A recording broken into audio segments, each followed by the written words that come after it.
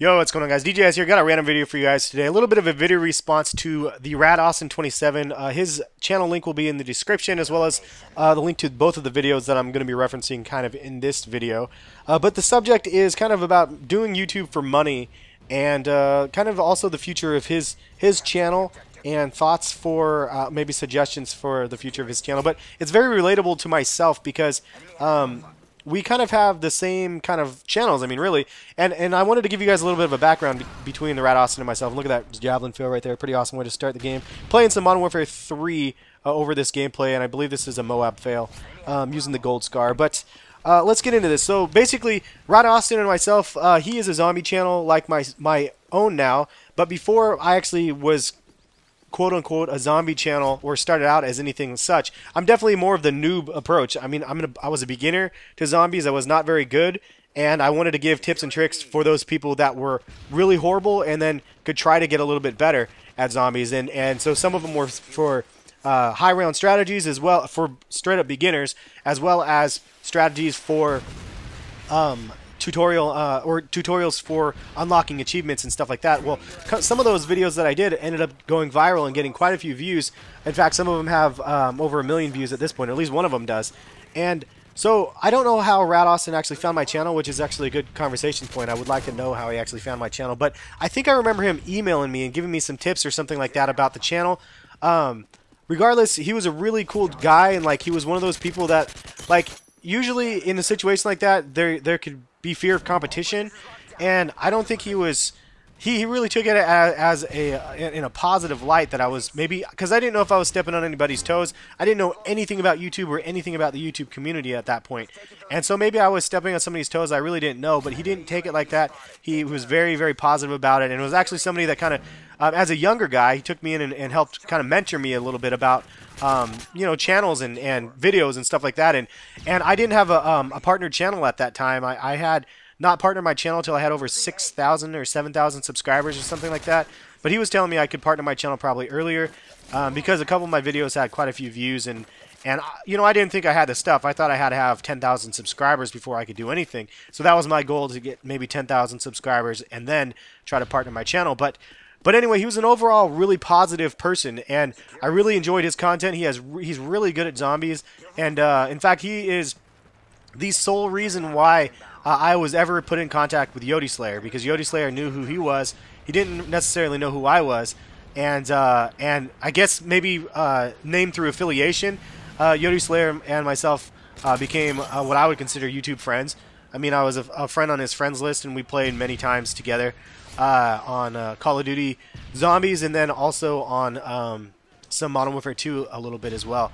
I never got a chance to play Borderlands with him though, man. I was quite a bummer. But anyway, yeah, it's quite sad what what what happened to Yodi Slayer. It actually still is something I, I, think about quite frequently, and I probably shouldn't dwell on some of those things. But it's just a sad, tragic situation. But but I have honestly, I, for that connection, I have um, I have the Rad Austin to thank for that, and he's he's one of those people that uh, again has just been a stand-up guy in the community. Now uh, segueing a little bit, his channel has been zombies like kind of like what mine has, but like some somewhat the same videos, but his are definitely a lot more storyline oriented.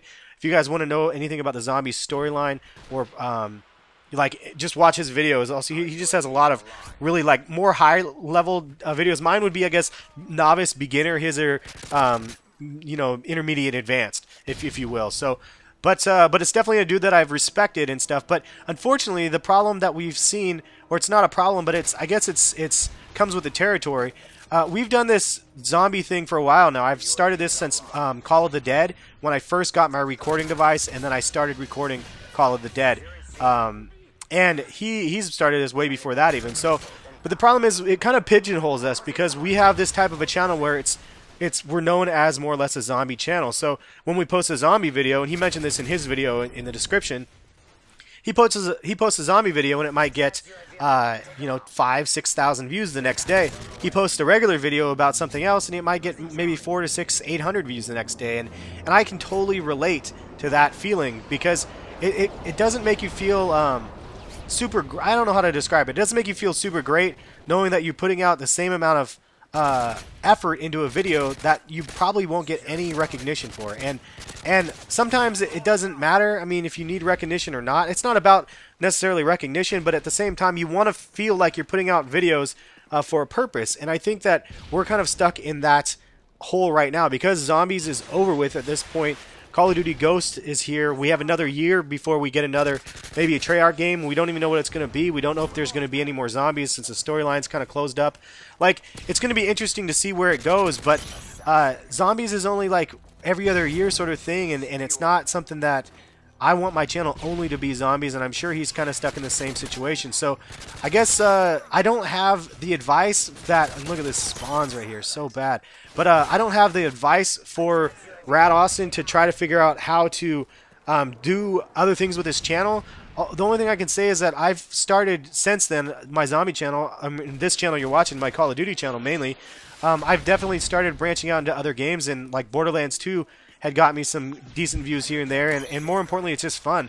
Playing different games is a lot of fun. So uh, that's something I would recommend to him is maybe playing some different games and just finding something that he likes to play and have fun with it. I also started a, Let's Play channel as well, and it, Let's Play channels are, are really difficult because sometimes, um, I mean, you post videos. I posted over 600 videos on that channel, and I have 6,000 something subscribers on it now, and I just I barely um, I just reached over a little over a million views on that channel, which is crazy because I can't even imagine it has a million views on it. I just got a couple random viral videos, but um, but it's really hard to to have a channel and and if you don't have like a format, it makes it really difficult to try to figure out the best way to uh, to reach an audience on a regular basis. Now, the other thing is I started my sneaker channel, and it's interesting to see the dynamic. My sneaker channel gets way more daily views. I posted a video yesterday. I get 30, 3,800. I mean, honestly, between anywhere from 2,000 to 8,000 views the next day on a video. But on my gaming channel, which has way more subscribers, 59,000 or something like that, uh, this channel um, maybe get uh, maybe a thousand if I'm lucky, maybe 2,500 the next day or something like that if I'm if I'm lucky on a video. Which honestly, I think that one thing that we both have in common is, yeah, it's great to have money off of it. I have a regular job. I have other jobs. I make money other ways. For me, he's a college student. Uh, is it the end of the world if we don't get money? No. Do we? Does it? Is it helpful to get paid for for the videos? Absolutely. Uh, but uh, but it's not the end all be all. I, I think that it's it's going to be important um, for for channels like mine and his to just keep moving forward, maybe evolve a little bit, and try to find a format. I think that's important for my channel. I know that I'm stuck in this rut as well, as I've been mentioning to you guys the last couple days. I'm stuck in this rut of, look at this, I, I ended up dying from this guy. The guy was hiding from uh, using that rocket. But, um, but yeah, it's finding a format is going to be important, and something that might include like zombies once a week, but have other things that are there. Obviously, I do the Minecraft on Sundays, and I do uh, Tactical Nuke Tuesdays on Tuesdays, but really those only generate a couple thousand views, which isn't a ton.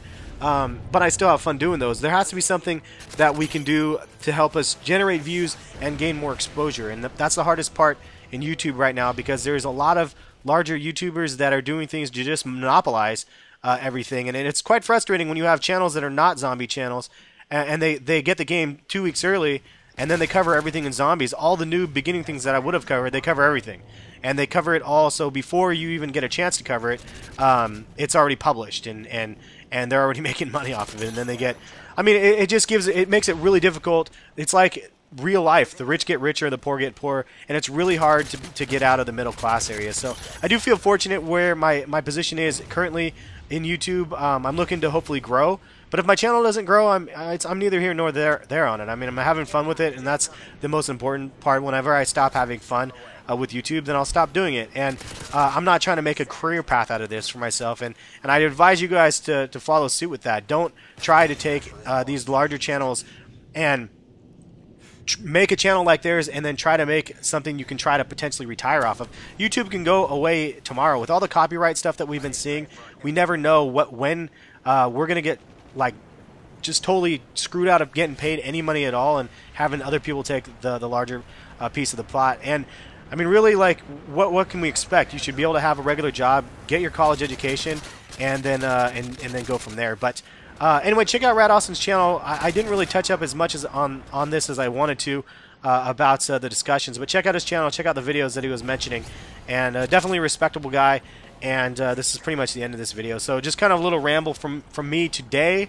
Hopefully you guys don't mind that. I'm trying to bring you a little bit more personal videos in the last couple days. Um, not not so much. I mean, I guess I'm just bring, bring, bringing a just a different variety of videos. But enjoy nonetheless if you guys did. Uh, and thank you guys for watching. Have a good one, and we'll catch you guys later. Peace.